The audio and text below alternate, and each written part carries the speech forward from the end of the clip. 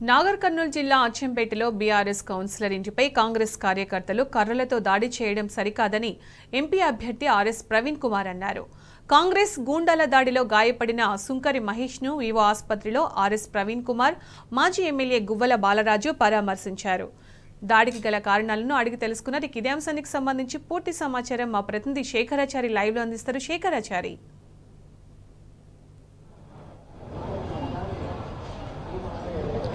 సునీత నాగర్ కర్నూలు జిల్లాలో కాంగ్రెస్ ప్రభుత్వ అధికారంలోకి వచ్చినప్పటి నుంచి కూడా బీఆర్ఎస్ కార్యకర్తలపై దాడులు చేయడం పరపాటిగా మారిందని చెప్పవచ్చు. తాజాగా మనం చూస్తా ఉన్నాం మార్నింగ్ నుంచి కూడా అచ్చంపేటలో నిన్న జరిగినటువంటి ఇన్సిడెంట్ అంటే ఒక ప్రజాప్రతినిధి అయినటువంటి కౌన్సిలర్ ఇంటిపైన దాడి చేసి వాళ్ళ గాయపరిస్థితి ఆసుపత్రిలో ఉన్నప్పటికీ హైదరాబాద్లో హైదరాబాద్ ఆసుపత్రిలో మహేష్ అనే కార్యకర్తను ఎంపీ అభ్యర్థి ఆర్ఎస్ ప్రవీణ్ కుమార్తో పాటు గోవల బాలరాజు మాజీ ఎమ్మెల్యే జిల్లా అధ్యక్షులు పరామర్శించడం జరిగింది. ఈరోజు అచ్చంపేటలో కూడా వారిని పరామర్శ ఇంటి దగ్గర పరామర్శించడం జరిగింది. ఇదే నేపథ్యంలో కొల్లాపూర్ నియోజకవర్గంలోని పెద్దకొత్తపల్లి మండలం చిన్నకార్పాముల గ్రామంలో కూడా కొంతమంది కార్యకర్తలపై కాంగ్రెస్ కాంగ్రెస్ చెందిన వారు కొంతమంది దాడి చేసి గాయపరిచారు. వాళ్ళు తీవ్ర గాయాలతో జిల్లా ఆసుపత్రిలో చికిత్స పొందుతున్నారు. ఈ నేపథ్యంలో వారిని కూడా జిల్లా ఆసుపత్రిలో ఎంపీ అభ్యర్థి డాక్టర్ ఆర్ఎస్ ప్రవీణ్ కుమార్తో పాటు ఆ, బాలరాజు గారు డాక్టర్ గువ్వల బాలరాజు గారు మాజీ ఎమ్మెల్యే జిల్లా అధ్యక్షులుగా పరామర్శించారు.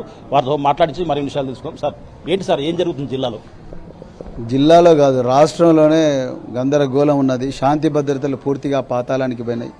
ఇలా మనం ఎప్పుడో చిన్నగా ఉన్నప్పుడు కారం చేడు చుండూరు లక్ష్మీపేట మరి నీరుకొండ పదిరికుప్పం లాంటి సంఘటనలు విన్నాం కానీ ఇలా మన కళ్ళ ముందరనే ఇదే కాంగ్రెస్ పాలనలో ఇలా కొల్లాపూర్లో చిన్న కారు పాములు అనే గ్రామంలో ఆరు మంది దళిత యువకులను ఘోరంగా జూపల్లి కృష్ణారావు గారి అండదండలతోని ముప్పై మంది కాంగ్రెస్ పార్టీ కార్యకర్తలు ఘోరంగా కొట్టడం వల్ల వాళ్ళకి అలా మొత్తం ఫ్రాక్చర్స్ అయినాయి. తర్వాత వాళ్ళు చాలా తీవ్రమైన గాయాలతోని హాస్పిటల్లో చేరడం జరిగింది. ఎవ్వరు కూడా వాళ్ళకు రక్షణ కల్పించలేదు.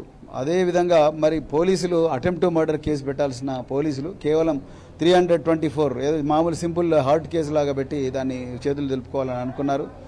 నిజానికి ఇది చాలా దురదృష్టకరమైన విషయం. ఇంకొక విచిత్రమైన విషయం బహుశా దేశంలో ఎక్కడ జరగదు ఏంటంటే ఇక్కడ మేము పొద్దుటి నుంచి నేను డాక్టర్ గోవాల బాలరాజ్ గారు అందరం కలిసి విజిట్ చేస్తా ఉన్నాం ఈ బాధిత కుటుంబాలను అంటే విపరీతమైన దాడులు బీఆర్ఎస్ కార్యకర్తల మీద. మిగతా పార్టీల మీద ఒక బీఆర్ఎస్ఏ కాదు మిగతా పార్టీల మీద విపరీతంగా దాడులు చేస్తున్నారు కాంగ్రెస్ నాయకులు. అన్ని చోట్ల ఒక కామన్ ఫీచర్ ఏం కనిపిస్తుందంటే ఇక్కడ ఎక్కడ కూడా నిందితులను అరెస్ట్ చేయడం లేదు.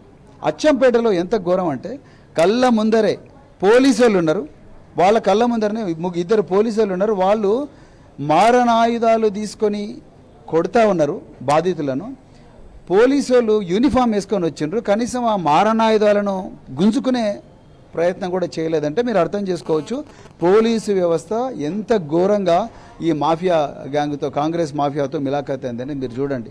అదేవిధంగా చిన్న కారుపాంల కరెక్ట్గా పది రోజుల క్రితం నేను బీరం హర్షవర్ధన్ రెడ్డి గారు మేమిద్దరం కలిసి బాధితులను తీసుకొని చిన్న కారుపాముల్లోనే బాధితులను తీసుకొని మేము ఎస్పీ గారి దగ్గరకు ఇన్ రైటింగ్ కంప్లైంట్ ఇవ్వడం జరిగింది.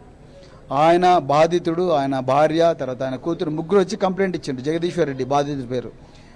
ఇస్తే కూడా దాని మీద ఇంతవరకు యాక్షన్ జరగలేదు. అదే నేరస్తులు మళ్ళీ నిన్నగాక మొన్న ఎలక్షన్ రోజు ఘోరంగా అటాక్ చేశారు. అంటే ఒకసారి కంప్లైంట్ చేస్తే యాక్షన్ తీసుకోకపోతే రెండోసారి వాళ్ళకి న్యాచురల్ ధైర్యం వస్తుంది. ఇవాళ నేను చెప్పాలనుకున్నది ఏంటంటే ఇది పద్ధతి ప్రకారం ప్లాన్ ప్రకారము ఇక్కడ బీఆర్ఎస్ను పూర్తిగా నిర్మూలించాలి. బీఆర్ఎస్ను పూర్తిగా ఖతం చేయాలి. ప్రతిపక్షాలు ఎవరు ఉండకూడదు. ఓన్లీ కాంగ్రెసే ఉండాలి. అన్న కుట్రతోని మరి మంత్రి గారి అండదండలతో జరుగుతున్నది అనేది చాలా క్లియర్గా అర్థమవుతున్నది. ఇక్కడ బీఆర్ఎస్ నాయకులకు కానీ ఎవరికి జరిగినా ఇక్కడ స్థానిక పోలీసులు అదేవిధంగా మరి రాష్ట్ర డీజీపీ అదేవిధంగా మరి రాష్ట్ర ముఖ్యమంత్రి బాధ్యత వహించాలి జిల్లా మంత్రి బాధ్యత వహించాలి.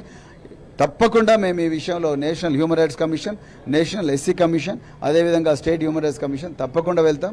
ఇక్కడ చాలా అంటే చాలా దారుణాలు. ఇక్కడ పోలీసులు ఏ మాత్రం యాక్షన్ తీసుకోవడం లేదు. మేము అన్న మూడు రోజులైంది. మరి మన్నే క్రిషాంక్ అని బీఆర్ఎస్ సోషల్ మీడియాలో యాక్టివ్గా ఉంటాడు ఒక నా సీనియర్ నాయకుడు.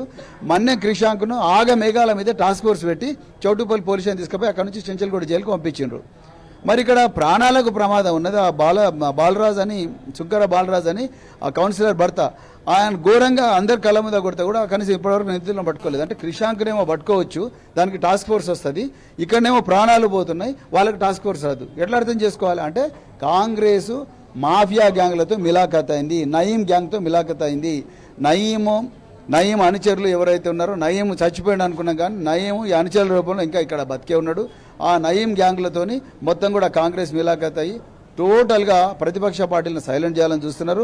రాష్ట్ర ప్రజలందరూ గుర్తించాలి. మేము చట్టాన్ని చేతిలోకి తీసుకునే పార్టీ బీఆర్ఎస్ కాదు. న్యాయబద్ధమైన పోరాటం అది ఎంత దూరమైతే దూరం పోరాడడానికి మేము సిద్ధంగా ఉన్నాం. మా జిల్లా ప్రెసిడెంట్ గారు సార్ మీరు చెప్పండి. అంటే సీఎం గారు సీఎం రేవంత్ రెడ్డి గారు స్వయంగా వాళ్ళ స్వగ్రామం మీ నియోజకవర్గంలో ఉంది. వంగూరు మండలంలో కూడా మన ఎలక్షన్ రోజు దాడులు జరిగినటువంటి పరిస్థితి. నిన్న చూస్తే ఒక ప్రజాప్రతినిధి కౌన్సిలర్ ఇంటిపైన దాడి జరిగింది. అంటే పర ఎలక్షన్లో ప్రచారం మీరు వెళ్ళినప్పుడు కూడా ప్రచారాన్ని కూడా డిస్టర్బ్ చేసే కార్యక్రమం చేస్తారు దీన్ని ఎట్లా అర్థం చేసుకోవచ్చు? అసలు ఏం చెప్తారు దీని గురించి? చారి గారు ప్రతి ఎన్నికల్లో కూడా కొండారెడ్డిపల్లిలో ఒక ఘర్షణ వాతావరణం క్రియేట్ చేసే ప్రయత్నం చేసిండ్రు. ప్రతి సందర్భంలో బీఆర్ఎస్ విజయ డంకా మోగించింది.